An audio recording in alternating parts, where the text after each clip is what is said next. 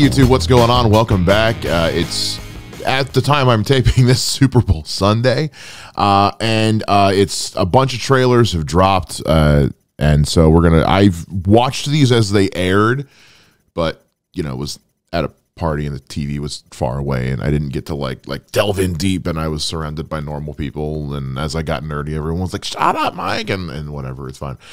Anyway.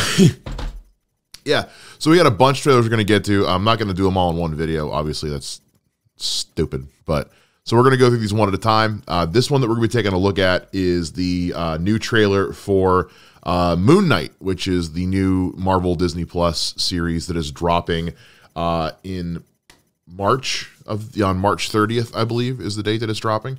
So we're gonna pull this up and I'm gonna watch it, and you guys are gonna watch me watch it, and we're gonna see how we feel. I am been looking forward to this Moon Knight series for a long time. So let's see what we got. I can't tell the difference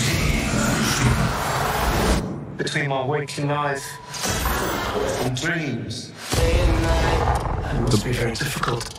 The more I see of him in these trailers, the more on board I am with him as the Moon Knight. Embrace it.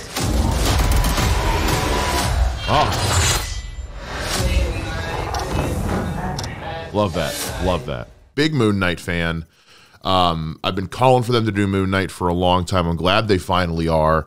Um, I had always kind of wanted, like, I always thought Keanu Reeves would have been a good one uh, for this in terms of just kind of playing that kind of just grungy, uh, twisted, out of his mind uh, type thing. But when they when they cast Oscar Isaac, I was like, all right, if I can't have what I want, I'll take it. And um, and the two trailers in now, I, I absolutely love the way he's doing it. I think he's doing a really good job of showing just how unhinged he can play. Um, I love the the the look of the suit enveloping him uh, almost like it's you know like like mummy wrap that kind of thing. Um, not a whole lot of new stuff in this trailer that we didn't see before in the in the first one. I love the look of his cape billowing out, looking like the crescent moon, and he's got the the I think it's, I think they're called moonerangs, which is just it is what it is. It's a comic book, but um, and then we had, we had a leaked image or not a leaked image, but a, an official image get released a couple days ago. I think it was Variety that did it. It was Number Entertainment Weekly of a shot of the another look the Moon Knight's going to have, which is this, which is the suit. If you've read some of the more recent runs of Moon Knight, you know that at one point he has like a almost like a tuxedo thing going on, and we see the suit several times in both trailers, and it looks a little so little different each time. So I think we're going to see different versions of Moon Knight's look depending on what version of his personality which which inner inner demon is that is uh, present at the time is what i think we're going to get.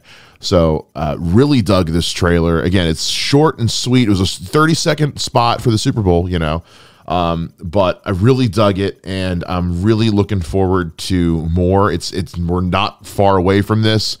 A little over a month until it's here and um, I'm super psyched for it. So let's let's let's hear what you guys think down in the comments. Let me know what you thought of this trailer. Don't forget to like and subscribe and all that all that jazz. I hate begging for that, but you know you're not a YouTuber. If you you got to tell them or they won't know to do it. So do it, everybody. Like and subscribe my video. Whatever, it's fine. Anyway, uh, thanks guys for watching and uh, keep an eye out for the other Super Bowl trailer reactions I'm going to do here.